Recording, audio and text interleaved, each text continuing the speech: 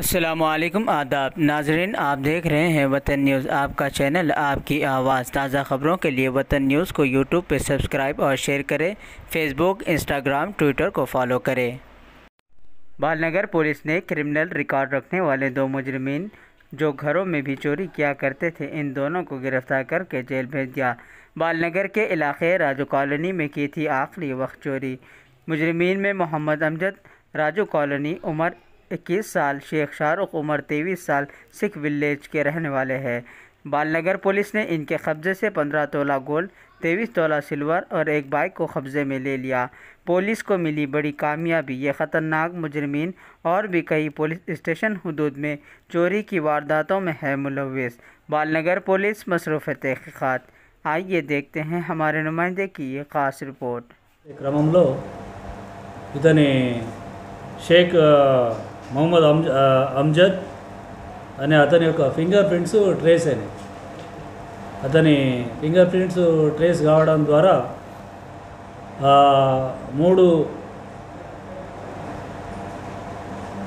మూడు ఇళ్ళలో రాజకారణిలో దొంగతనం చేయడం తర్వాత ఈ కార్ఖానా పోలీస్ స్టేషన్లో కూడా ఒక దొంగతనానికి వీళ్ళు పాల్పడడం జరిగింది.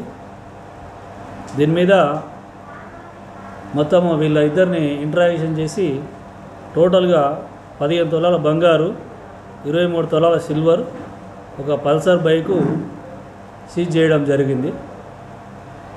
అయితే ఇతని పూర్వ చరిత్ర పరిశీలిస్తే ఈయన ఈ నాలుగు కేసులే కాక ఇంకా ఏడు కేసులలో కార్ఖానా బోయినపల్లి మహంకాళి ఈ పోలీస్ స్టేషన్ నుంచి ఏడు కేసులలో జైలుకు వెళ్ళి దాదాపుగా తొమ్మిది నెలల పాటు జైల్లో ఉండి బయటికి రావడం జరిగింది. బోయినపల్లి పోలీస్ స్టేషన్ నుంచి పీడీ యాక్ట్ కూడా ప్రపోజల్ పెట్టినారు కానీ అది వర్కౌట్ కాలేదు. ఆ లోపల అతనే శిక్ష అనుభవించి బయటికి రావడం జరిగింది. అయితే ఈ ఇతను ఇద్దరు కూడా రెండు సంవత్సరాల చిన్న అబ్బాయిగా ఉన్నప్పుడే తల్లిదండ్రులు ఇద్దరు కాల్చుకొని చనిపోతే మన రాజకాలంలో ఉన్నటువంటి జరీనా బేగం అని ఇతన్ని టూ ఇయర్స్ బ్యాక్ తెచ్చుకొని సాదుకున్నదాన్ని. సాదుకుంటే వీడు చెడు అలవాట్లకు అలవాటైపోయి ఆమె ఇంట్లో నుంచి కూడా తల్లికి సంబంధించిన పెంపుడు తల్లికి సంబంధించిన మంగళసూత్రాన్ని కూడా వీడు దొంగతనం చేయడం జరిగింది.